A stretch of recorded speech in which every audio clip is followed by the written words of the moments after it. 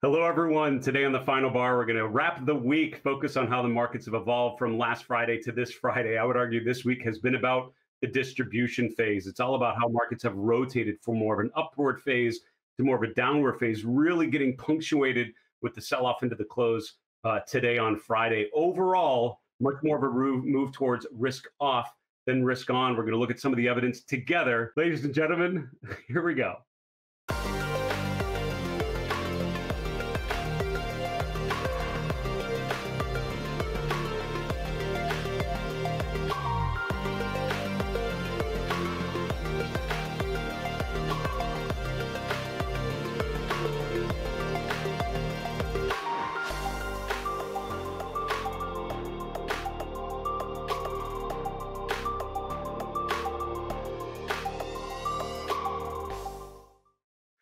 Hello, everyone. Welcome to the final bar. I'm your host, Dave Keller. I'm the chief market strategist here at stockcharts.com in a rainy Redmond, Washington. Thanks for joining us every weekday after the close as we focus on the action in the markets. We focus on the trends, inflection points, rotations, and I would argue this week our cup runneth over with all of the above. And we've talked about the persistent uptrend in the market. We've talked about the S&P and the Nasdaq continuing to make new all-time highs, including this week but now starting to show real signs of distribution. There have been signs of, uh, you know, warning signs along the way, the weakening breadth characteristics, uh, you know, rotation in leadership, some of the cyclical sectors really struggling, the emerging uh, trend in some of the defensive sectors like real estate. But this week, especially at the end of the week, we're starting to see a bit of a rotation to the downside. I think now is the time as we uh, wrap this week and start thinking about next week and beyond thinking about the downside potential, what levels, particularly on on holdings, not just the S and P, but also on uh, holdings in your portfolio. Think about the potential downside and where you need to get defensive, raise cash, and so forth. Now we have great guests on the show as always. Uh, had a lot of fun this week with uh, with our guest Christopher Mullen yesterday. Had a lot of fun talking about stocks versus bonds and uh, and the financial sector. Coming up next week, we have some great guests as well. On Tuesday the twentieth, we have Dale Pinkert from Forex Analytics. On Wednesday, the 21st, Ari Wald from Oppenheimer. On Thursday, the 22nd, Jonathan Krinsky from Baycrest Partners. Also, I will be hosting the next episode of The Pitch, which is coming up July 27th. So go to stockcharts.com slash the pitch to learn more about that upcoming episode and who will be participating. Two other things to point out. Uh, number one, I will be hosting my next webcast for market misbehavior. This is coming up next Tuesday. We will be discussing what I call the bull market top checklist. I would argue the distribution we're seeing today and through much of this week is not a, a, a brand new phenomenon. We've seen some of these patterns really leading up to uh, what we've seen today. And, uh, and we're going to look at sort of the checklist, how you can identify when a bull market may be exhausted and the things along the, uh, the way to pay attention to. If you're interested in that free event, go to my website, marketmisbehavior.com slash market top, and you can find more information. Also today, we're just wrapping up our week our mid-year outlook here on Stock Charts TV called Charting the Second Half. Go to our YouTube channel, also our Stock Charts TV on-demand platform at stockchartstv.com to see all of the fantastic content. Let's continue on and wrap this week. Uh, what we're going to do is start with the poll. We always have a poll running on our Stock Charts TV live stream on our website, uh, also on our YouTube channel, other social media. We'll distribute that as well. Appreciate you answering the poll anytime you see it uh, helps us to have a good dialogue about the markets together. What we asked you recently, which of these ETFs do you think performs best through year end 21? And the choice was US stocks, global developed stocks, or EFA, and global emerging stocks, uh, EM, or dollar sign EEM. So three ETFs, the spiders, EFA, or EM. 71% of you answered the US market, the SPY. Only 13% said EFA, 15% set emerging markets. So pretty much 70-30 split between U.S. and non-U.S. You know, we've talked about the strength in the dollar and how that's emerged. You know, going quickly to the uh, to the chart of the dollar here. You know, the strength in the dollar is really the story there. I would uh, I would argue, right? The U.S. outperforms or tends to outperform when it's a stronger dollar environment. This period, especially last year, we had the weaker dollar. It's tough to really justify. That's a huge headwind for U.S. outperformance, and you saw EM and others you know, emerging, uh, pun intended, with uh, with some renewed strength. That's changed though, as you've had this bottoming process in the dollar that's really been going on for quite a while. But especially the rotation higher here in the last uh, six to eight weeks. That's where we've really seen the ratio of U.S. versus uh, the SPY versus ACWI or something, which is a global index. You can really see the rotation out uh, of the non-U.S. markets and into the U.S. markets, and I, I, think that is a justifiable answer. I probably would have voted uh, about the same thing. Let's continue on with our wrap the week segment. So what we love to do is focus on a couple things. Number one, we'll focus on what happened with the markets actually today. We'll take a step back and look at the weekly returns. Then we'll finish off looking at the uh, Mindful Investor live chart list to break down some of the major themes with price, breadth, and sentiment. So earlier in the, in the day here, as I was writing a note to uh, my own clients, we were talking about the distributive pressures, right? That the one thing we've not really seen is a broad distribution in price on the major averages. But all the other signals, I would argue, of risk off have been played out before this week or into this week, and it was enough for me to, you know, have have more of a bearish title to the report and and everything. And when I'm looking at the chart of the S&P 500, you can see midday still sort of choppy, right? We opened higher, but sort of traded lower, but it really accelerated to the downside in the afternoon. You could see a, a clear rotation from more rotational to more defensive. Utilities, the number one sector, up 1%, while some of the cyclicals like financials, materials, and energy really dragging down. And it wasn't just growth versus value because the value stuff, uh, things like uh, uh, you know financials, materials down, but also some of the more growthy sectors like technology, consumer discretionary down as well. So this was much less about growth or value. This was much more about risk on versus risk off, and people rotating away from sort of the offense uh, of the market into more of the defense of the market. So the S&P finished down uh, three quarters of a percent to 43.27. The Nasdaq 100 about the same. There's no real difference between those two. Mid caps and small caps pushing further to the downside with the small cap index. The S&P 600 down the most, about 1.4 percent. The VIX is back above 18, which it's been below for quite a while now. Looking at some other asset classes very quickly, interest rates actually uh, bounced out of the open, but settled right back down with the 10 year yield uh, settling in right around 1.3% at the close. The dollar index above, uh, uh, up just a bit, but not, uh, not too dramatically. Other asset classes, you actually saw a rotation uh, away from precious metals. as well. So, again, this is where I caution people to not oversimplify. We love to think, you know, isn't gold a safe haven? So, if stocks come down, then gold is probably going up because that's where people would rotate to. Not necessarily. And, and I can show you plenty of times where that actually happens and plenty of times where it does not. Today is one where it did not. So the GLD was down about 1%, silver down 2.5%. Commodities overall sort of mixed, though, with some of them uh, rotating back to the upside. Cryptocurrencies did continue to be incredibly volatile, but Bitcoin actually finishing uh, in the uh, in the positive for the last 24 hour stretch, uh, just below 32,000 right now, and Ethereum flat for the day. On the sector side, just very quickly, as I mentioned, this is very much a risk off over risk on with utilities, consumer staples, real estate, all positive today in the top four. Healthcare also uh, in the positive, and the really uh, the offense, the things that you would be uh, you would be buying into, expecting the next leg higher, really feeling the weight today. So it was certainly a, a move more toward the defensive side of the coin. Let's look at the one week returns here. So we're actually taking it from last Friday here from the 9th, and we're looking at the next five trading days. And let's look uh, let's look what happened here. So in Blackwood, the S&P 500, which finished the week down about 0.9 percent, uh, almost exactly the same returns of the Nasdaq 100, which was in a very similar uh, pattern, closed the week down one percent. Three things underperformed this week. It was the crude oil down two and a half percent. We're using the USO for that. In purple, we have small cap stocks down 5%. We're using the IWM, the Russell 2000 uh, ETF for that one.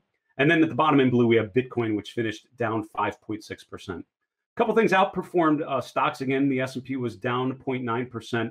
Flat for the week, just above the zero line, was emerging markets. The EEM, which was up uh, 0.1%, also up 0.1%. Uh, gold using the GLD. In green, we have the dollar up 0.7%, and the best of the bunch, bonds up 1.2%.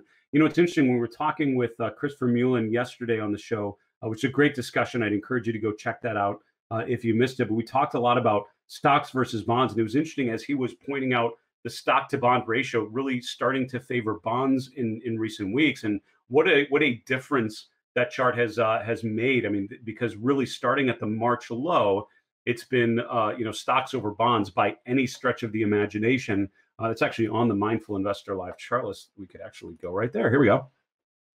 You know, if you look, this is what the chart has looked like for the last couple years. Start the clock at the March uh, 2020 market low. And with a couple pullbacks along the way, overall, it has clearly been favoring uh, stocks over bonds. Really accelerated there in the fourth quarter of last year into the first, really the first half of this year. And that's obviously bond prices coming down, interest rates going higher as the 10 year hits 175. That's what uh, you know is the underperformance of uh, of bonds versus stocks, and the index is making new highs. Is what causes that ratio to go higher, which makes you think as an asset allocator, you're really not getting a lot by uh, you know having exposure to bonds, and so that whole 60-40 split equities to uh, to fixed income hasn't made a lot of sense because the the, the returns have come all from the equity side of that uh, of that scenario. Now all of a sudden we're starting to see the benefits of the fixed income exposure with rates actually able to come back down a little bit with bond prices actually starting to rally here. And a couple months ago, you had the bullish momentum divergence on things like the AGG and the TLT causing the prices to come higher. It's causing yields to come down. And you can see that now the ratio turning downwards is favoring bonds, favoring the TLT over the SPY. I think this is a key chart to be watching over the next month or two as we're in now really the meat of the seasonally weakest part of the uh, of the equity uh, annual calendar. Um, do you continue to see uh, stocks underperforming uh, bonds? And if so, think about how you're getting exposure to that relatively defensive part of the uh, of the market. Uh, let's continue on. Just look at the Mindful Investor Live chart list. So, as a reminder, if you've not seen our Friday show before, we always spend some time looking at this group of charts. You can access this uh, as part of your stock charts login. Just go to the articles tab uh, and you'll see uh, on the upper right, there's a little link from my uh, blog, which is called The Mindful Investor. At the very top of that page, you'll see a gray button for this live chart list. You're welcome to access it right from there. The market trend model, as we uh, often review, is using weekly data, using exponential moving averages based on that weekly data. The long term model has been positive since June of last year. So now over a year, almost uh, 13 months actually in bullish uh, phase, which is uh, totally appropriate given where we've been. My medium-term model actually turned negative in mid-May, which has been tough to digest as the S&P and the Nasdaq have continued to make new all-time highs. The FANG stocks have, you know, broken out to the upside, although that may be in question now. But what that basically tells me is it's a general risk on versus risk off. That turns negative. That tells me to think more about potential downside than potential upside. It doesn't tell me to you know try to sell charts like MCO or American Express or Facebook or any of those that are sort of in consistent uptrends that are pushing higher and higher. It tells you to watch out for things that are no longer going up and make sure that you clearly define uh, your risk. And for things like cyclicals that have broken down, the banks and others that are breaking below their 50 day and continuing to push lower, that's what the medium term trend model being negative tells me to focus on. The short term model actually finished the week uh, net positive. It was really, really close. And I was curious if it was going to give a negative signal. It really didn't. It's been negative only one week out of the last probably four to five months. So overall, it shows you the strength that we've seen up until uh, today. The daily chart of the S&P, let's spend a moment here. So it's interesting that the S&P made new highs uh, first week in July to the second and third week in July, where we're at now. You can see a bit of a bearish divergence there, not a huge one. I think the ones that you saw in April and January, a little different in terms of indicating uh, a momentum structure over uh, like a three week period. Weren't quite long enough, I think, to be similar to that. But you know, regardless, we're seeing distribution uh, for uh, for now. The Nasdaq, by the way, clearly in the overbought condition, and now just coming out uh, today from uh, yesterday into today, coming out of that overbought region, which really suggests a pullback imminent. You know, if you look at the chart of the S&P, there are two things that I've been paying attention to very closely. One is a trend line using the October low and the March low. That connects very well with May, connects well with June because we broke below it and then traded right back up. We lined up with there in July. We've now tested it yesterday and have now closed below it for only the third time since back in uh, in November, early back here in March is when I first drew this particular trend line. Once we had that secondary low, so we've only been below it a couple times here. Uh, and so I think leading into next week, that's certainly starting next week in a position of weakness. Now that we've closed below there, the very next thing you look for is follow through. Every other time we've broken that trend line, we've very quickly uh, traded back above it. My question is, do we get that sort of positive bounce, much like we did back here in mid June?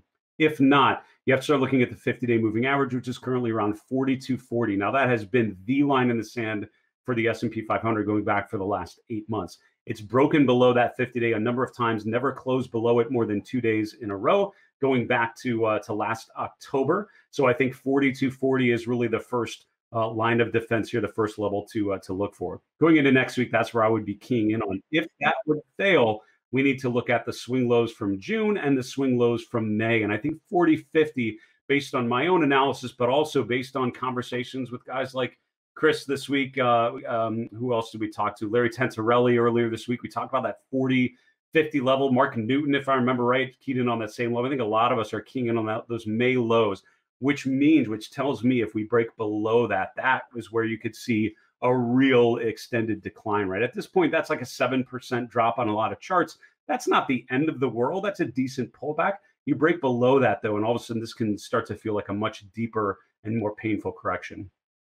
We only have a few moments left here in the wrap of the week segment, so I just want to touch on a couple quick things. This measure of breadth we've looked at a number of times. The S&P advanced decline line going higher. None of the others confirming the new high in uh, at the end of June into July, and two of them now breaking down uh, and breaking below their 50-day moving average, breaking below the June low, including the NYSE advanced decline line, which I would argue is the most important. So you have this traditional topping pattern where the breadth uh, is not confirming the most recent upturn, and now you're starting to break down those breadth measures as well. I would argue that's uh, sort of a negative connotation uh, going forward.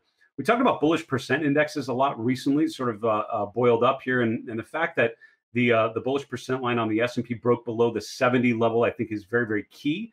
I'll be looking to see next week if we continue to go below there. The real signal that that differentiates a garden variety pullback versus something deeper and more painful in terms of price and or time is this indicator getting below 50%. That would be quite a move from here to get that to be triggered, but that's what I'll be looking for next on this particular chart. We need to take a quick break.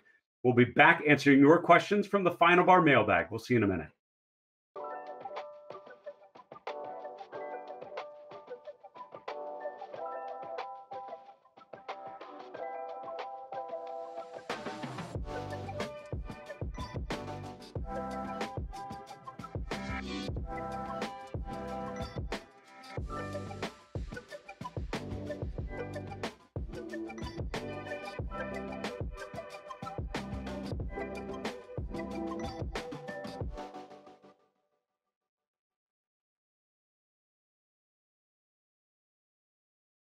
Hello, everyone. Welcome back to the Final Bar. This is Dave Keller here at stockcharts.com. Thanks so much for joining us every weekday after the close for our show. Couple quick announcements before we get to the mailbag uh, segment. Number one, we would love to hear your questions. The mailbag that we're going to address here in a moment. These are all questions from you in the last day or two. We would love to keep the dialogue going.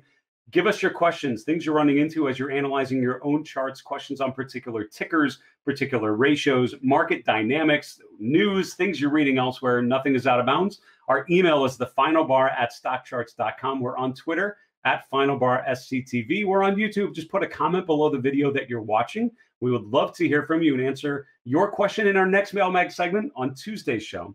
Also, as a reminder, go to stockchartstv.com, use your email, set up a free account you can start watching all of our fantastic comment from our great suite of hosts, all of our special events like Charting the Second Half featured on our on demand platform. Go to stockchartstv.com or look on any of the app stores for StockCharts TV on demand. Let's continue on answering your questions from the Final Bar mailbag. Again, these are all questions that we've received from you in the last uh, day or two. Some really thoughtful questions about market dynamics and technical indicators. Let's get right to it. Question number one, uh, let's see. I was wondering if you can clarify why the short term moving average crossed below the longer term moving average uh, on this chart. Let's, let's bring it up. All right. So this was a, a stock that we referred to on the show uh, last week, SQM, which I learned is a Chilean company.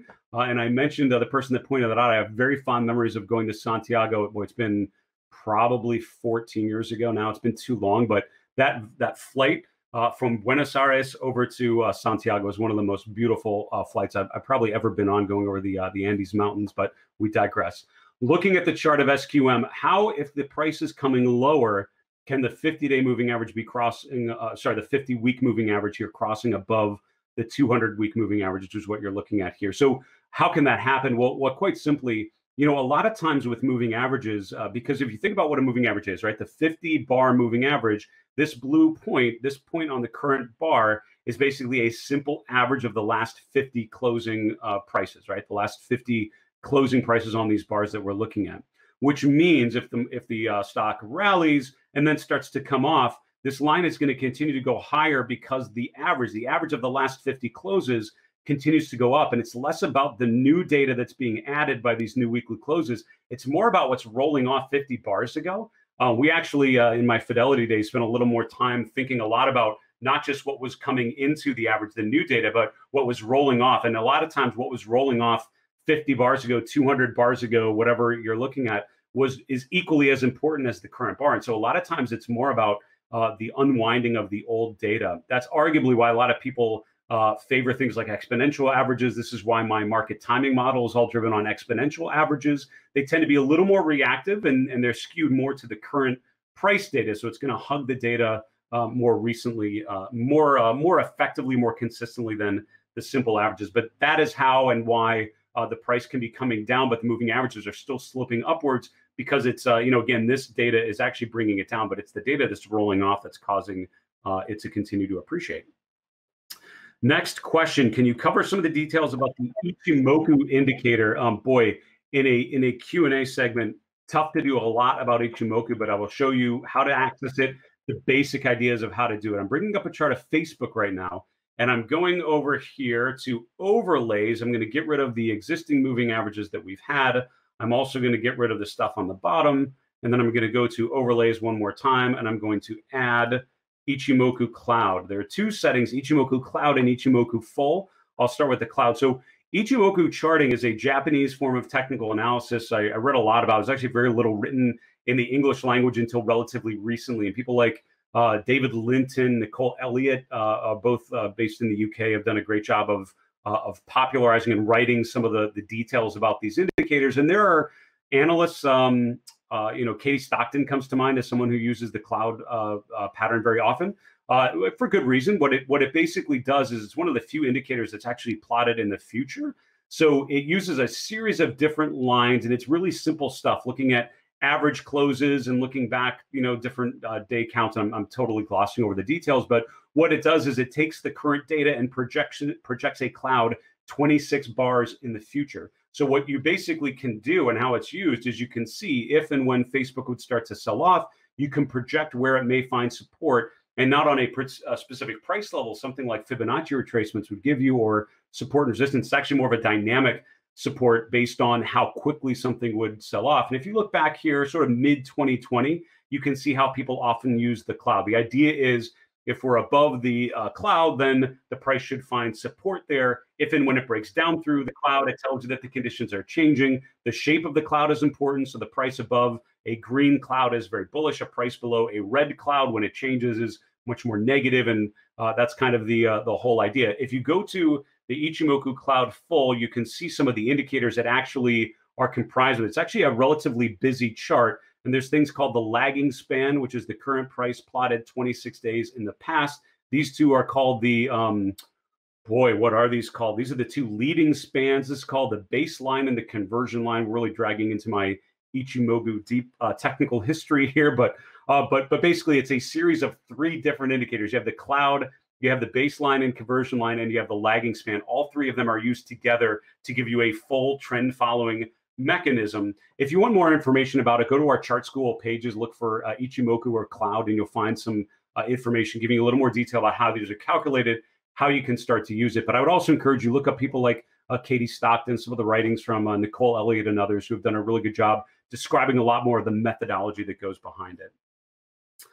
Next question, if you have time in the next mailbag segment, could you do a quick analysis of small and mid caps? Uh, I'll take a shot at that. Why not? As we go to, um, you know, IWM tends to be the, uh, the the one that I would use for this. You know, if you look at, we, we tend to look a lot at small versus large uh, very regularly, and part of my main risk on versus risk off assessment includes looking at small caps versus large caps. What's interesting, if you think of the chart of the S&P 500 or the Nasdaq, every month you've seen higher uh, higher highs, right? Higher closes as the uh, as the um, uh, you know indexes continue to make new all-time highs. If you look at the chart of the IWM, you can see new highs in January, February, March, and that's it. We really haven't, you know, really the acceleration into the February high was the end of small cap outperformance. From then, when we talk about a rotational environment, when we talk about leadership rotation, we talk about a digestion phase. I think the chart of the IWM and the difference leading into mid February and after mid February, which has literally been a sideways trend, the absence of up or down. This is you know, stocks can go or charts can go up, down, or sideways. This is that third direction by far. This is why small caps have been underperforming because other things have gone up. The FANG stocks have gone up while small caps have basically languished. So for me, it's been really difficult to justify small caps on, on a momentum basis over the last couple months because really the momentum hasn't been there. It's been underperforming. It's really been range bound. And until a chart like this breaks out of that range to the upside, you really have to expect that the, the sideways trend uh, continues. Now, I think it's very dangerously at the lower end of this uh, of this uh, of this support level, at this lower end of this range. Right now, the bull case, I would argue, would have to mean the uh, mega cap tech stocks uh, hold up or just pull back a little bit at, at, the most. These small caps and others kind of come back a little bit, uh, come down uh, a little bit further. The S&P retraces seven to eight percent more than what it's sold off so far, and then you start to uh, you know rotate next higher and you get the big big leg higher. I think charts like this breaking down out of this range, breaking the 200 day, things like that would be a real negative uh, sign. I don't see the market uh, you know, moving dramatically higher given that sort of breakdown. So I would argue while the S&P is always an important chart to look at, I would argue the small cap chart uh, also maybe equally or if not a little more important right now. Um, boy, we only have time for like one more question, then we really have to go. I talked about the bullish percent index, and uh, someone asked about this. This is where we'll, we'll have to uh, to leave it for today. If you look at a chart of the XLF, you had some indicators down at the bottom, and you had this particular thing where we were doing BPFINA, which is the ticker for the Financial Bullish Percent Index, the S&P members, uh, and whether they're uh, bullish or uh, bearish right now. And you said my chart, it's doing this weird thing where it's showing 32%. Why is it giving me that weird value as opposed to just showing you from zero to 100% the actual value? The reason is because you're using this uh, indicator called price hyphen performance. You want to change that to price where you're not looking at performance trends over time. You're just looking at the actual value that's going to make a little more sense in terms of the actual value. You also asked, can we automate that? So bring up utilities and have it automatically show the bullish percent for utilities. Not yet. So I've actually created a chart list with the 11 S&P sectors and each of their bullish percent indexes. I would encourage you to do the same. If you want my list, no problem. Shoot me an email, the final bar at stockcharts.com. I'm happy to send that list right to your stock charts login. We need to wrap the show though today. Go to the three and three, three charts in three minutes. Here we go. Chart number one is the S&P breadth by cap tiers. This is a chart we refer to very regularly, and I would, I, you know, sometimes it's kind of boring. So in April, when most things were going higher, in March when they're all making new highs, there's not a lot of signal there. I think this is one of those times where the breadth indicator is is giving a strong signal. And while I've hesitated to be too negative, I think at this point the potential to move lower in terms of time and or price in a major way starting next week and following through from what we saw this week is very very real and i would say this is one of the charts that we may look back and and, and recognize that it gave us clear topping signals. The fact that the uh, NYSE all uh, advanced decline line has made a new swing low after breaking below its 50 day while the S&P is still making new highs that is exactly what happened at the at the February 2020 high. This is a chart I'm going to be watching to see if breadth conditions can recover at all but so far not the case. Chart number two is looking at high beta versus low vol. So if you know these ETFs, high beta is really in cyclicals right now, financials, industrials. Low vol are things like utilities and real estate, very defensive. Overall, this ratio was in an outperformance mode for high beta as the cyclicals were leading into the first quarter. From there, it's really been sideways. And when we talk about a rotational environment, this is a great chart that shows that rotation where it's been leadership in fits and starts, but overall it's been sideways. These have overall been rotating back and forth. As of today, this ratio is breaking down as investors are finally getting more into the defensive side of the coin. That is a chart to continue to watch to see if defensive sectors like utilities continue to do well. Finally, a chart like Moderna breaking out to the upside. Not a lot of stocks breaking out to the upside uh, today and this week. This is certainly a chart to watch up 10% today. What concerns me, a potential exhaustion gaps. There's three types of gaps. The one that happens after a big move could be an exhaustion gap as it's overbought. I would be looking at this chart into next week to see what sort of follow get follow through we get after this big gap higher on Friday session. Folks, that is our show for today. Thank you so much for joining us today and every day, uh, every weekday after the close for the final bar. As a reminder, send us an email with any questions that you have. The final bar at stockcharts.com. We would love to hear from you. From everyone here at stockcharts.com, I'm Dave Keller. Be safe. Have a great weekend. We'll see you on Monday. Hey guys, Dave Keller here with StockCharts.com. Thanks so much for watching our video. If you enjoyed it, and we hope you did, hit the like button right below. Also, we have so much new content every day. Consider subscribing to the channel. Just hit the subscribe button in the video or right below. Thanks for watching. Stay safe. Have a fantastic day.